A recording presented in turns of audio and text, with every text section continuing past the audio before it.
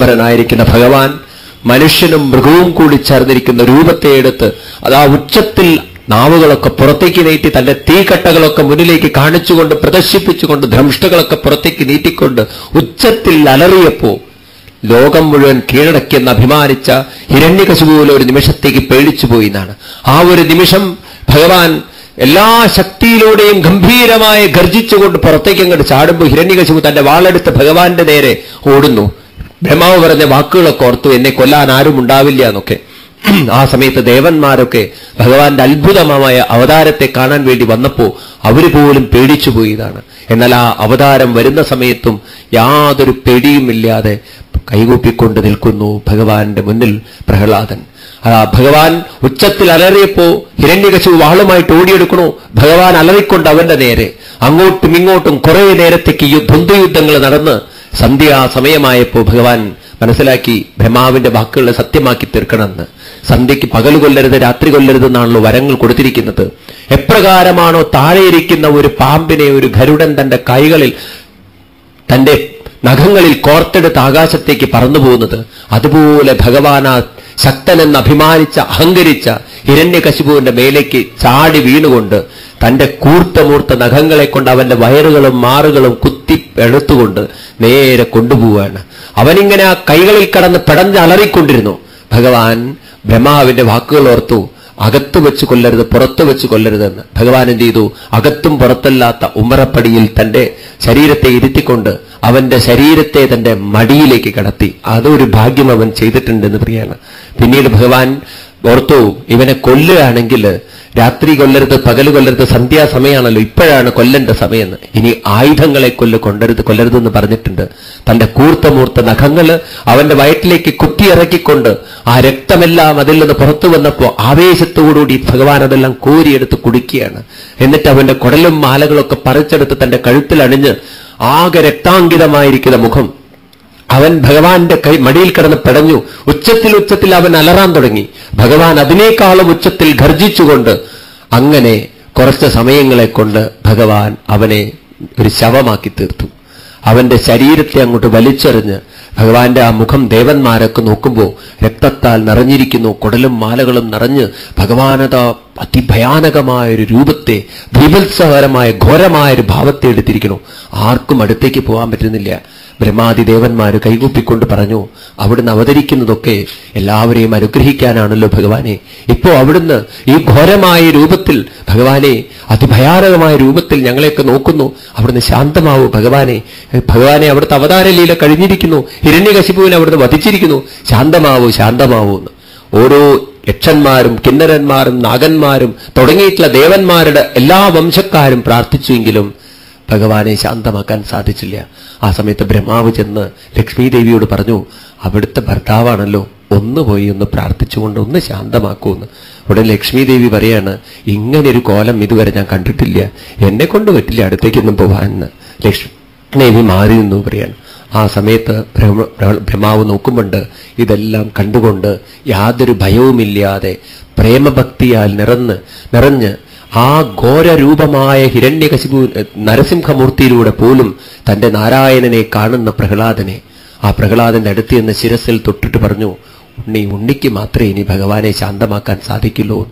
ആ ഒരു നിമിഷം യാതൊരു ശങ്കയുമില്ലാതെ അല്പം പോലും ഭയമില്ലാതെ കൈകൾ കൂപ്പിക്കൊണ്ട് പ്രഹ്ലാദൻ ഭഗവാന്റെ പാദത്തിൽ നമസ്കരിക്കുന്നതും പ്രേമാധിക്യത്താൽ കണ്ണിൽ നിന്ന് ആനന്ദാസുക്കൾ ഭഗവാന്റെ പാദത്തിൽ സ്പർശിച്ചതും ആ ഒരു നിമിഷം ഘോരരൂപമെടുത്ത ഭഗവാൻ പോലും ശാന്തനായി തീർന്നു എന്നാണ്. ഇനി ആ പ്രഹ്ലാദനെ പിടിച്ചുയർത്തി പ്രഹ്ലാദൻ ഭഗവാനെ കൈകൂപ്പിക്കൊണ്ട് സ്തുതിക്കുന്ന സ്തുതിയാണ് ഭാഗവതത്തിലെ ഏറ്റവും മനോഹരവും ഏറ്റവും വലുതുമായൊരു സ്തുതി. പ്രഹ്ലാസ സ്തുതിയായിട്ട് ഒൻപതാം അധ്യായത്തിൽ നമ്മൾ കാണുന്നത് അത് നമുക്ക് നാളെ കാണാം. അതിനുശേഷം പിന്നീട് ഭഗവാൻ പ്രഹ്ലാദനെ അനുഗ്രഹിക്കുന്നത്. പ്രഹ്ലാദൻ ഭഗവാനോട് പറയുന്ന രണ്ട് കാര്യമുണ്ട്. ആരാണ് യഥാർത്ഥ ഭക്തൻ? ആരാണ് ഭഗവാൻ? ഇത് നിർവചിക്കുന്ന ഒരു അഞ്ചു വയസ്സുള്ള അസുര ബാലനെ നമുക്ക് ഭാഗവതത്തിൽ കാണാം. അതിനുശേഷം പിന്നീട് നാളെ അവതാരങ്ങളുടെ ഒരു ക്യൂ ആണല്ലോ. രാവിലെ തന്നെ ഗജേന്ദ്രമോക്ഷം അത് കഴിഞ്ഞാൽ പിന്നെ മോഹിനി കൂർമാവതാരം അത് കഴിഞ്ഞാൽ പിന്നെ മോഹിനിയായിട്ട് ഭഗവാൻ വരുന്നത് അത് കഴിഞ്ഞാൽ പിന്നെ വാമനമൂർത്തിയായിട്ട് വരുന്നത് അത് കഴിഞ്ഞാൽ മത്സ്യമായിട്ട് അവതരിക്കുന്നത് അത് കഴിഞ്ഞാൽ ശ്രീരാമസ്വാമിയായിട്ട് അവതരിക്കുന്നത് അത് കഴിഞ്ഞാൽ പരശുരാമസ്വാമിയായിട്ട് അവതരിക്കുന്നത്.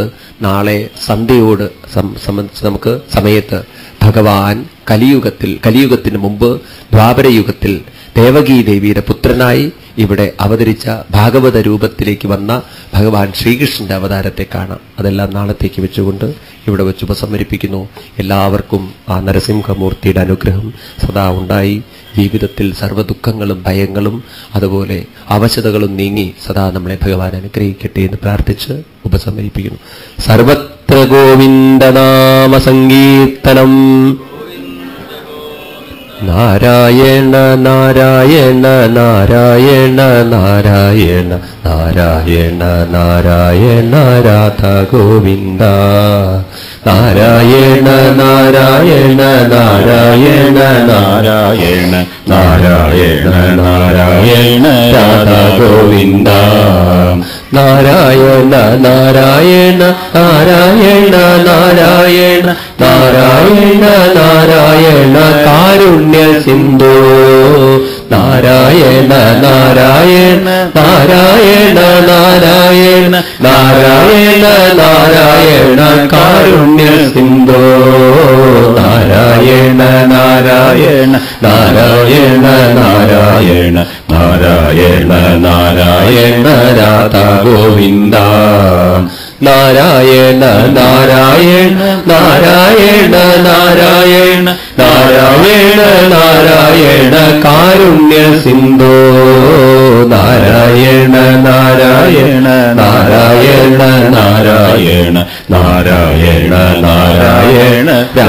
ഗോവിന്ദ നാരായണ നാരായണ നാരായണ നാരായണ നാരായണ നാരായണ കാരുണ്യ സിന്ധു നാരായണ നാരായണ നാരായണ നാരായണ നാരായണ നാരായണ രാധാ ഗോവിന്ദ നാരായണ നാരായണ നാരായണ നാരായണ നാരായണ നാരായണ കാരുണ്യ സിന്ധോ നാരായണ നാരായണ നാരായണ നാരായണ നാരായണ നാരായണ രാധാ ഗോവിന്ദ നാരായണ നാരായണ നാരായണ നാരായണ നാരായണ നാരായണ കാരുണ്യ സിന്ധു നാരായണ നാരായണ നാരായണ നാരായണ നാരായണ നാരായണ രാധ ഗോവിന്ദ നാരായണ നാരായണ നാരായണ നാരായണ നാരായണ നാരായണ കാരുണ്യ സിന്ധു നാരായണ നാരായണ നാരായണ നാരായണ നാരായണ നാരായണ രാധാ ഗോവിന്ദ നാരായണ നാരായണ രാധ ഗോവിന്ദ സർവത്ര ഗോവിന്ദനാമ സങ്കീർത്തനം ഗോവിന്ദ രാധാരമണ മുകുന്ദ മുരാരി ശരണം നീ തവ ശരണയുഗം. പവനപുരേശ രാധാ കൃഷ്ണ ശരണം മേ തവ ദേവി മഹേശ്വരി പാർവതി ശങ്കരി ശരണം മേ തവ സാംബ സദാശിവ ശംഭോ ശങ്കര ശരണം മേ തവ ശരണയുഗം ഹരിഹരപുത്ര ആശിരവത്സല ശരണം മേ തവ ശരണയുഗം. രാധാരമണ മുകുന്ദ മുരാരി ശരണം മേ തവ ശരണയുഗം. പവനപുരേശ രാധാകൃഷ്ണ ശരണം മേ തവ ശരണയുഗം. ശരണം നേ തവ ശരണയുഗം. സർവത്ര ഗോവിന്ദനാമസങ്കീർത്തനം ഗോവിന്ദ ഗോവിന്ദ നാളെ പതിവ് പോലെ ആറു മണിക്ക് ആരംഭിക്കും.